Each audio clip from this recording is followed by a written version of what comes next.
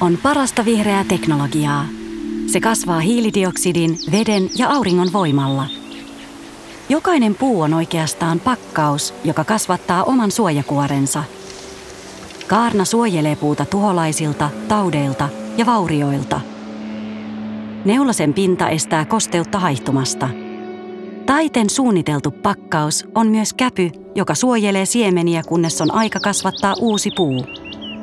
Ihminen on erottamaton osa luontoa. Meidän tulee elää sen mukaisesti uusiutuvia luonnonvaroja ja kiertotaloutta suosien.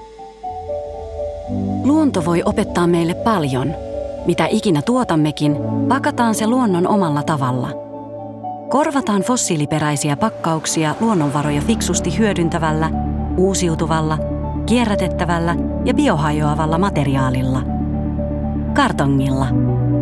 Toimimme sopusoinnussa luonnon kanssa varmistaen, että arvoketjun varrella mikään ei mene hukkaan.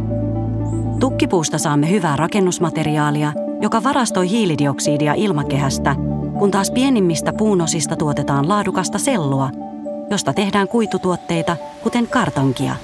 Yhdestä ainoasta harvennushakkuun puusta syntyy tuhansia kartonkipakkauksia.